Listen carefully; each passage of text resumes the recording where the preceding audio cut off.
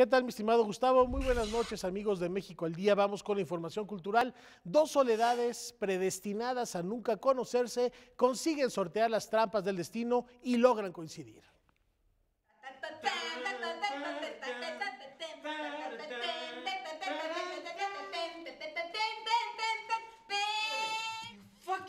El dolor, el abandono y la soledad que pueden sufrir los seres humanos son desentrañados en la obra Seattle. Escrita y dirigida por Adrián Vázquez, la puesta en escena propone un diálogo entre la música, la danza y el teatro para contar al público una historia de encuentros, desencuentros y esperanza. En Seattle lo que nosotros vemos son dos seres que desde su, su, edad más temprana en la infancia empieza eh, a permearse de violencia y de crueldad y de pérdidas pero cómo ellos a través de la danza le ponen una cara optimista, cómo ellos se sobreponen a estas adversidades y logran hacer que, el destino en algún punto los junte.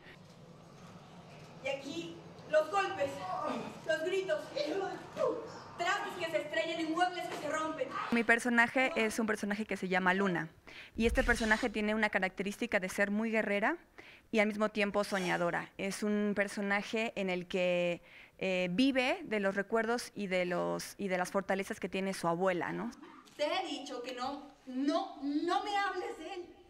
Cualquier semejanza con la vida real es mucho más que una coincidencia. Y la revista Horizontum premia a los escritores que siguen contribuyendo a que el género negro tenga en nuestro país un vivero de historias policíacas. El primer premio de novela negra Horizontum se dio a conocer. De 63 propuestas recibidas, el jurado seleccionó la de David Becerril Flores, La conspiración en Jericó.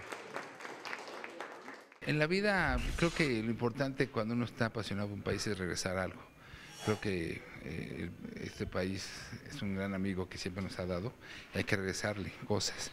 Y parte de este, de este, de este premio, que fue proyecto de la parte editorial, es sacar una convocatoria de novela negra, eh, el cual tuvo un, gran éxito y pues fue todo un dilema decidir quién ganara.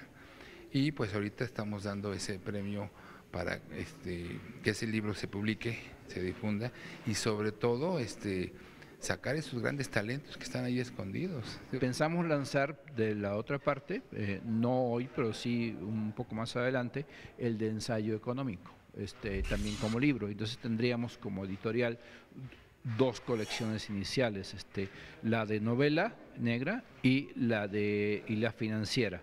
Esto por el momento. Bueno, una tradición añeja y muy rica la que hay en nuestro país a propósito de este género que es la novela negra. Hasta aquí la información, muchas gracias y muy buenas noches.